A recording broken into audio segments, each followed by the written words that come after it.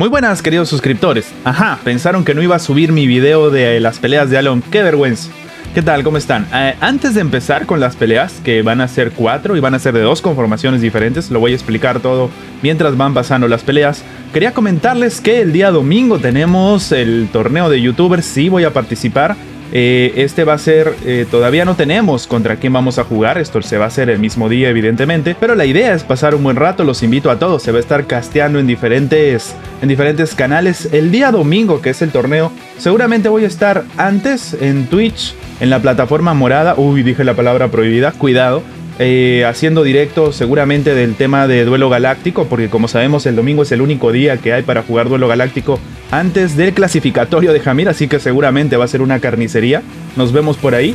Y después seguramente vamos a estar con el tema del torneo. No creo que esté en vivo con el torneo para que mis compañeros que van a castearlo no tengan mayor inconveniente, pero estén atentos a la jugada. Además de eso, deben saber que los organizadores, gracias a Dark y gracias a Fede, eh, nos estaban comentando que va a haber un sorteo de medallas de caballeros, van a ser tres en total, y seguramente se viene algo especial también en nuestro canal, porque como saben hemos llegado a los 7000 suscriptores. Quiero agradecerles mucho que a pesar de que este viejo sabroso no sube contenido todos los días, están ahí, se los agradezco, voy a intentar subir contenido siempre, sé que ese es mi problema, sé que siempre digo lo mismo, sé que ya no me creen, pero a ver, la esperanza es lo último que se pierde. Dicho esto, muchachos, quiero agradecerles por su apoyo siempre, por permitirme estar, aunque sea un ratito, eh, en, su día a día, en su momento, en el relajo, en lo que fuere. Gracias de todo corazón y nada, disfruten las peleas. Bien, para estas cuatro peleas que vamos a presenciar he decidido usar dos conformaciones diferentes. En esta primera estamos viendo, digamos, la que he comentado en el video cuando hablamos sobre Alon, el tema de jugar en inframundo. Eh, el único caballero que se repite en esta conformación con Alon va a ser Caín, porque me parece que tiene una utilidad muy buena, justamente con Alon. Entonces, si se dan cuenta, en esta estructura no estamos buscando que nuestro alón se transforme en la primera ronda como tal, sino ganando algo de tiempo. Por eso también jugamos con un caballero de control, como es el caso de Ayakos. Entonces tenemos también el tema de que Caín tranquilamente puede ejercer un control interesante. De hecho, con este doble turno se acaba de transformar nuestro alón ahora sí. Y eh, aprovechamos, tuvimos un poco de tiempo para lanzar curaciones. Curación que en este momento acaba de ser efectiva, por ejemplo, en este Thanatos y le ha ayudado bastante. Parece mentira, pero la habilidad de curar de Alon cuando está en forma de humano es muy útil y la vamos a ver sobre todo en las otras, en las dos últimas peleas, cómo puede sacar algo bastante útil a favor nuestro, ¿ok? Sin embargo, aquí en esta conformación tengamos en cuenta también que estamos con los niveles de skill up del daño, es decir, del ataque, no lo tenemos tan alto, está a nivel 4. En las últimas dos conformaciones que son de una alineación diferente ya está al máximo nivel el daño. Es importante tomar en cuenta eso. Sin embargo, bueno, estamos intentando darle también bastante protagonismo a lo que es Caín y los dobles turnos. Aquí se viene un ojo de Thanatos que no hace tanto daño, estamos equipados para soportarlo y además tomemos muy en cuenta el hecho de que hemos robado daño. Eso también merma bastante el tema del ojo del señor Thanatos que acaba de morir. Se vienen los ataques por parte de este Mew de Papillon. Hace como objetivo a nuestro Alon se vienen todos los ataques, no es suficiente, pero recordemos que en nuestro alón estamos jugando con el cosmos central que puede ser un dolor de cabeza, ¿no? En este caso estamos hablando de árbol de resurrección. Todavía lo mantenemos en la actualidad. Yo sé que hay muchas alternativas, hay muchos cambios, como por ejemplo jugar con el tema de eh, viuda negra como un cosmos bastante útil. Tenemos también otra opción, otra alternativa, como jugar por ejemplo con lo que significa el tema de cadena de festos o, por qué no, también felina. Sin embargo, he decidido mantener Árbol de Resurrección. Me da tal vez un empujón más con el tema de la supervivencia, aunque pago con algo de daño. Y es importante tomar en cuenta eso porque va a depender muchísimo de las conformaciones que tenemos. Si tenemos cómo pagar con el daño, es decir, teniendo formas de sustain, de revivir, eh, o en todo caso, en como es en el mío, tener el claro ejemplo de Caín que está controlando un poco para que se genere ese espacio mientras metemos el daño, puede ser algo muy útil. Y aquí tenemos el primer resultado, un Caín que se ha servido muy bien de Alon con el tema del daño. Vámonos a la siguiente pelea. Bien, en esta siguiente pelea tenemos a una estructura interesante. Esta tal vez fue una de mis primeras peleas con Alon. Aquí estaba todavía testeando algunas cosas. Lo van a ver al final de la pelea porque sí dura más o menos. ¿Y por qué quise testear algo con el tema de, del enlace de alma, de la vinculación de alma que hace Alon? Entonces la estructura, la nuestra, es la misma. El oponente está jugando también con Caín, algo bastante interesante. Eh, un dragón que nos puede traer problemas también. Los defensores, por ejemplo, Jun, hacen mucho daño a, lo que puede significar, eh, digamos, la estructura de, de meter mucha presión con Alon. Vamos a ver cómo zafar de eso en nuestra, en nuestra siguiente pelea. Pero en este momento de nuevo hemos hecho la curación a nuestro Thanatos para que pueda sobrevivir mientras va pegando. A veces no es suficiente el tema del bendito robo de vida.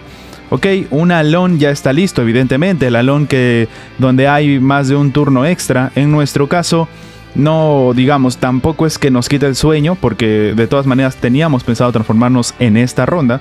Puede ser una o, dos después del movimiento del oponente, así que no hay problema. En este caso el oponente también se ve en esta necesidad, ¿no? De intentar romper el, el, ojo. De hecho, por eso ha pegado con el dragón. Y nosotros, por ahí que estamos, entre comillas, tranquilos, seguimos controlando. Y aquí se viene, en este caso, el ataque que decidimos hacerlo al que nos puede terminar perjudicando la partida. Lo hicimos muy bien, intercambiamos algo de vida. Él intercambia vida, pero no por el hecho de que, digamos, sea algo sustancioso, sino también por el hecho de que intenta crear un vínculo. De hecho, ya lo ha logrado. Decidimos, ante esta situación, esconder a nuestro Thanatos. Recordemos que Thanatos está precisamente con el tema. Bueno, aquí una detonación de un fantasma que no está. Recordemos que Thanatos está precisamente con el tema de que cada vez que se mueve se cura. Algo que puede llegar a ser útil. Y pega el señor Caín. El Caín del oponente eh, todavía está activa en esa revivisión, así que vamos a ver qué es lo que pasa. Nuestro Thanatos se cura efectivamente con lo que hemos comentado. Venimos con el ataque, estamos marcados con el ojo de Thanatos, así que ya lo matamos. Este es un tema de que como ya revivió una vez y Caín no revive dos, por eso tuvimos que hacerlo. Después nos fuimos contra Caín, no hicimos un mal daño. Y metemos un ojo, ahora sí se activa eh, la segunda revivisión, por así decirlo, de Caín. En este momento, Caín ya no tiene más utilidad como revividor, pero sí como control. Nos matan a nuestro a nuestro Hashun, pero sin embargo tiene también el tema de su de, la revivisión de nuestro lado, de nuestro Caín. Controlamos y se viene la ejecución. La ejecución a Caín mata también a nuestro a nuestro Hashun como se han podido dar cuenta. En este punto es en el que queríamos llegar. Alon no se muere. Alon no se muere y en este momento empieza a efectuar el daño a la unidad que nos estaba un poco ayudando con el tema de, sobrevivir. Así que todavía tenemos, y aquí lo que decido es pegarle directo a la diosa Atena. Ok, ok. Lo que sucede es que si se dan cuenta está escondido. Y en mi criterio, si lo desescondía exiliándolo, eh, iba a ser así, pero no fue el caso. La diosa Atena sigue activa, pero el otro está escondido, sigue escondido. Eh, era el único objetivo en ese momento en el campo, pero seguía escondido. Me acaban de matar y me quedo dos contra dos y vuelvo a hacer esto. Hago una prueba. Ese básico que acaban de ver era para probar si efectivamente le caía daño a pesar de que la diosa Atena le cae cero. La respuesta es un rotundo sí, aquí hay un bug espectacular con nuestro Ayakos que aparece para darnos fuerza, y decidimos pegarle a la diosa Atena y este cero se le va a rebotar al otro alón y terminamos ganando.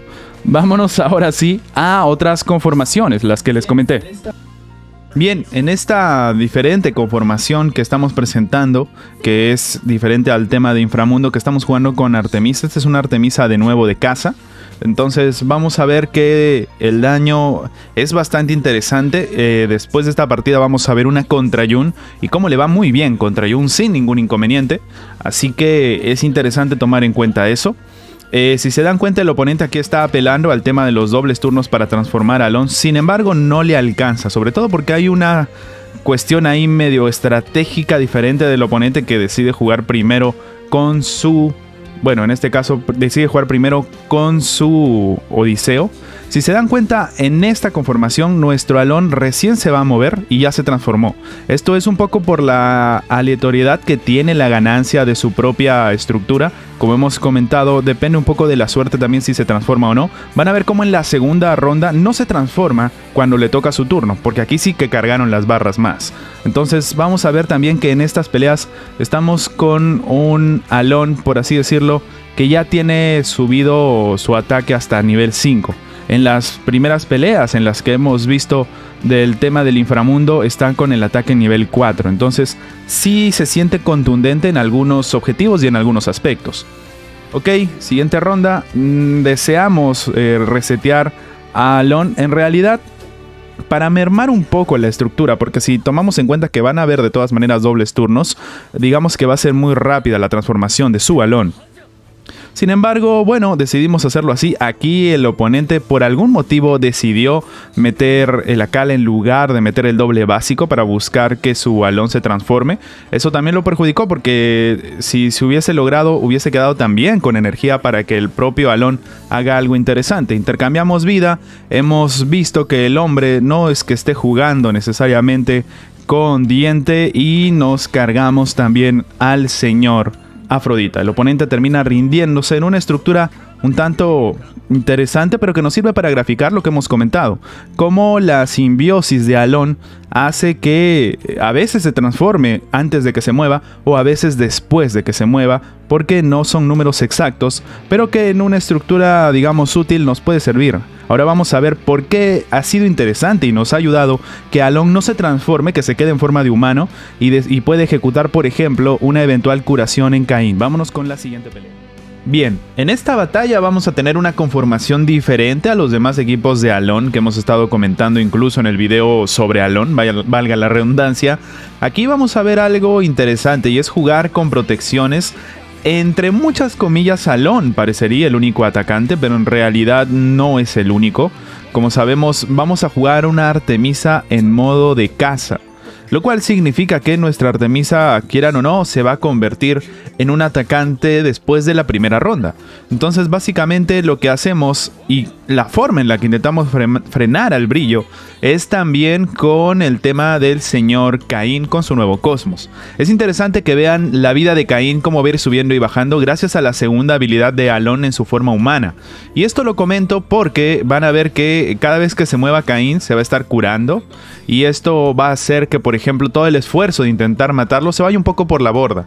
Como sabemos el ojo no hace mucho daño gracias al tema precisamente de, de tener equipado ese cosmos central en Caín el tema del nuevo Cosmos, que bueno, ya no es el nuevo, el nuevo ahora es Viuda Negra.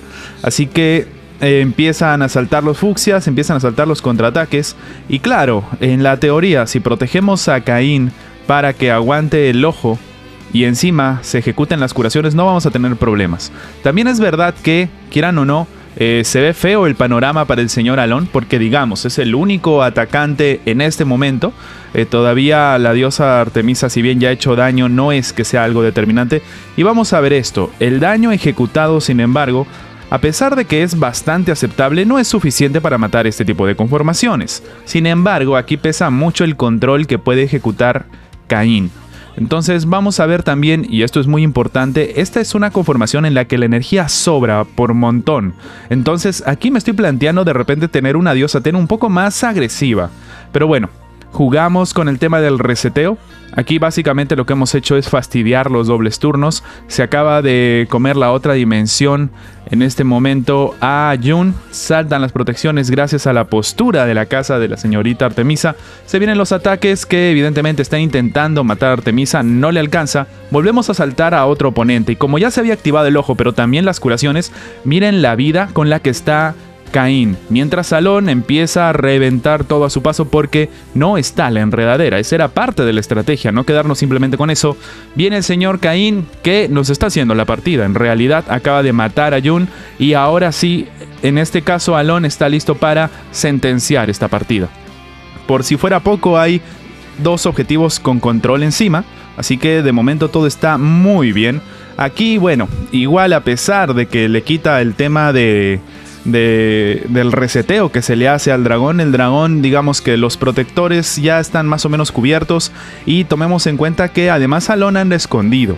Entonces digamos que tampoco hay mayor inconveniente. De nuevo, la diosa Atena tiene mucha energía para actuar. En este momento incluso el cetro cuesta cero.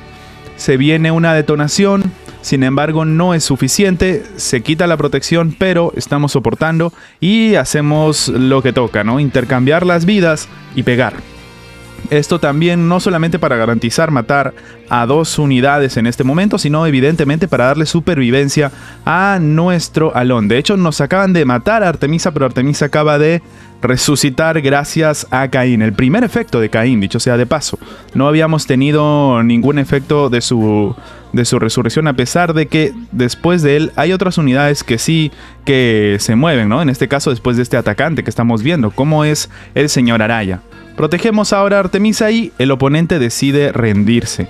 En este caso, aunque en la teoría, como les dije, parece que Alon es el único atacante, eh, tiene formas de salir adelante la estructura, hasta la diosa Atena se pone agresiva. Sería interesante probarlo tal vez en un futuro con Felina, volver a una conformación agresiva como antaño no estaría mal, pero si nos hemos dado cuenta, lo que hemos tenido aquí es un resultado interesante jugando con dobles turnos. Está el doble turno de la diosa Atena y el doble turno del dragón. Sin más, espero que les haya gustado las peleas y nos vemos, como les dije, en el domingo. El domingo hay un torneo, háganme barra por favor, que si no me desmayo. y muchas gracias muchachos por pasarse el día de hoy.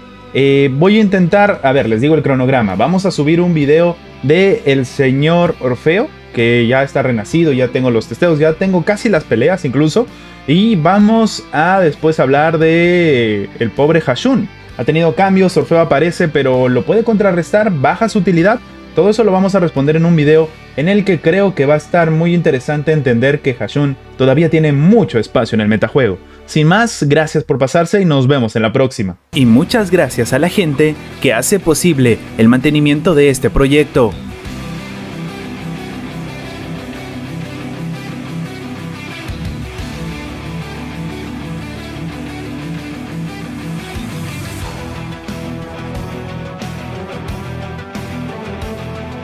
Gracias por ver nuestro video. Recuerda que tu like nos ayuda mucho a seguir creciendo. Suscríbete y activa la campana para que YouTube te notifique y nos vemos en la próxima.